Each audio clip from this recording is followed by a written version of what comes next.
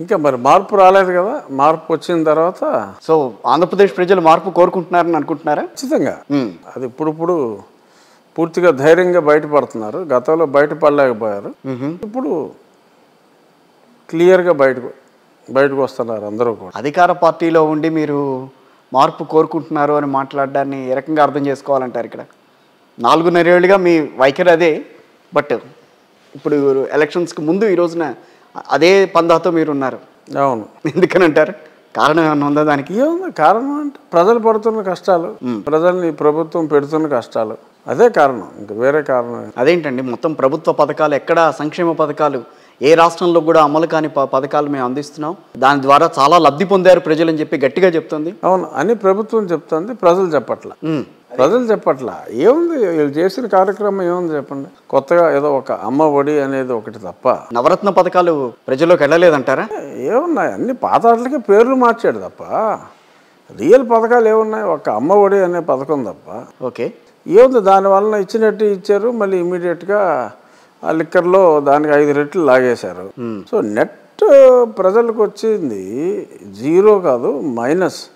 Power bill రెండు వందలు వచ్చేవాడిది ఇప్పుడు వెయ్యి రూపాయలు వస్తుంది. వెయ్యి రూపాయలు వచ్చేవాడికి నాలుగు వేలు వస్తుంది. ఓకే. సో ఆ రకంగా పవర్ బిల్స్ అని చెప్పి ఇచ్చిన దాని మీద నాలుగు రేట్లు దోచుకున్నారు కరెంట్ రేట్లు పెంచమని. ఈ రిజిస్ట్రేషన్ డ్యూటీస్ ఏమో ఎవరి ఇయర్ ఫిఫ్టీన్ పర్సెంట్ పెంచుతున్నాం అన్నారు. ఇన్ రియాలిటీ సంవత్సరానికి పది నుంచి పదిహేను శాతం చొప్పున ఈ ఐదేళ్ళలో యాభై శాతానికి మార్కెట్ రేట్లు అన్నీ పడిపోయినాయి సో చెత్త పనులు అని చెప్పి వేస్తున్నారు. అలా ఎక్కడ చూసినా సరే ఇచ్చిన దానికన్నా జనాల మీద వీళ్ళు వేసిన బ్యాండ్ ఎక్కువగా ఉంది. సో పీపుల్ ఆర్ రియలైజ్ నవ్వు అది ఇచ్చినట్టు ఇచ్చి మాంత్రికుడు మాయ చేసినట్టు మాయ చేశాడు రా బాబు అని జనాలందరూ రియలైజ్ అయ్యారు. లాగింది ఎక్కువ ఇచ్చింది తక్కువ అన్న ఆ రియలైజేషన్ రేపు ఎన్నికల్లో కనిపిస్తోందని మీరు భావిస్తారా? ఇప్పుడే కనపడుతుంది క్లియర్గా రేపు ఎన్నికల్లో ఇంకా స్పష్టంగా భయంకరంగా ఉండబోతాం అంటే ప్రత్యామ్నాయం దేని గురించి ఆలోచిస్తున్నారని ప్రజలు అక్కడ అసలు? ఇతను వద్దనుకుంటున్నారు. So whoever whichever is the strong party ఆ పార్టీకి ఓట్లేస్తారు. ప్రస్తుతం తెలుగుదేశం కూటమే స్ట్రాంగ్గా ఉంది కాబట్టి అలా ఎందుకు అనుకోవాలి? కాంగ్రెస్ పార్టీ నుంచి షర్మిల్ గారు కూడా అక్కడికి వెళ్తున్నారు కాబట్టి ఆవిడ అదేం కాదు. ప్రస్తుతానికి అసలు అవకాశం లేదు. కాంగ్రెస్ సో దానికి ఆర్గనైజేషన్ స్ట్రక్చర్ అంతా ఉండాలి. కాంగ్రెస్ పార్టీ స్ట్రక్చర్ అంతా డిస్మాంటిల్ అయింది. ఓకే మేబీ ఇరవై తొమ్మిదికి ఏమన్నా ఒక ప్రత్యామ్నాయంగా వైఎస్ఆర్ కాంగ్రెస్కి ప్రత్యామ్నాయంగా వస్తే రావచ్చు. టీడీపీ మాత్రమే ప్రత్యామ్నాయమా? టీడీపీ జనసేన కూటమి ప్రత్యామ్నాయం అని అంటారు. ప్రస్తుతం కలిసి ఉన్నారు కాబట్టి కూటమి ఓకే. ప్రత్యామ్నాయం. వాళ్ళని వాళ్ళకే రేపు రాబోయే అధికారం వాళ్ళకే దక్కుతుందని మీరు భావిస్తారా? ఖచ్చితంగా. ఎన్ని సీట్లు వస్తాయని అనుకుంటున్నారు? Around one forty. One forty? అంటే అంటే ప్రభుత్వ వ్యతిరేకత అంత కనిపిస్తుందా అసలు ఆంధ్రప్రదేశ్లో? విజయంలో ప్రముఖ పాత్ర వహించేది జగన్మోహన్ రెడ్డి. అదేంటండి? ఇప్పుడు ఏదైనా ఇప్పుడు ఇబ్బంది ఉంటుంది ఉన్న ఎమ్మెల్యేలతో కొంత ఇబ్బంది ఉండడం ఉండొచ్చు అని చెప్పి ఎమ్మెల్యేలను కూడా మారుస్తున్నారు ఆయన. కొత్త కొత్త ముఖాలు తీసుకురావాలి.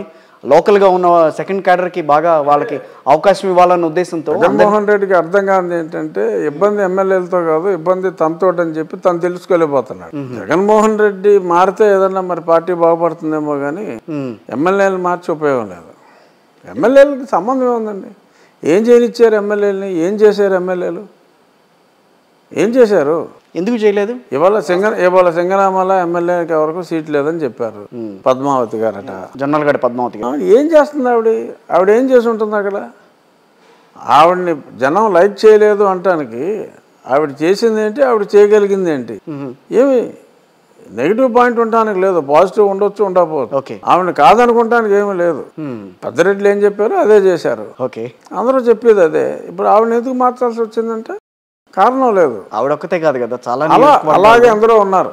చేత ఇప్పుడు సంక్షేమ పథకాలు చేసింది నేను నన్ను చూసి ఓటేస్తారు తప్ప మిమ్మల్ని చూసి కాదు అని చెప్పి చెప్పిన వ్యక్తి ఇప్పుడు వాళ్ళని ఎందుకు మారుస్తున్నాడు అనేది వాళ్ళకి అర్థం కావట్లేదు ముందు.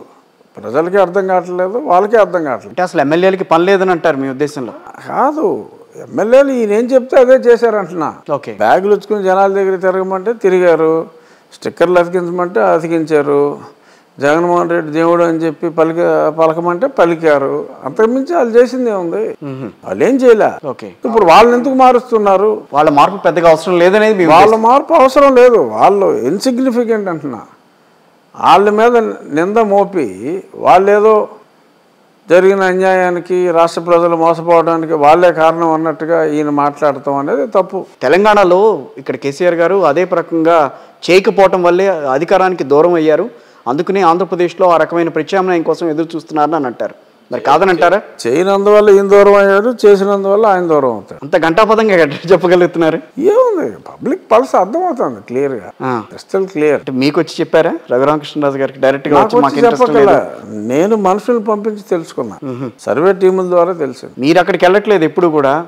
మీ సర్వే టీములు మాత్రం పెడుతున్నాయి అక్కడికి అవును. ఎప్పటి నుంచి ఇది? ఎప్పటి నుంచో? రెగ్యులర్గా జరుగుతుంది. ఇది ఒక మూడు సంవత్సరాల నుంచి అటు ఫ్రీక్వెంట్ ఇంటర్వెల్స్ జరుగుతున్నాయి. నాలుగు సంవత్సరాల తర్వాత మీ నియోజకవర్గానికి ఎడుతున్నారు. అవును. ఏ రకంగా ఫీల్ అవుతున్నారు? నాలుగున్నర సంవత్సరాలు ఆల్మోస్ట్ చెప్పాలంటే. నేను ఫిజికల్గా నా నియోజకవర్గానికి వెళ్ళకపోయినా రెగ్యులర్గా నాకు ఢిల్లీలో వచ్చే వాళ్ళందరూ కొన్ని వందల సంఖ్యలో వస్తున్నారు కలుస్తున్నారు.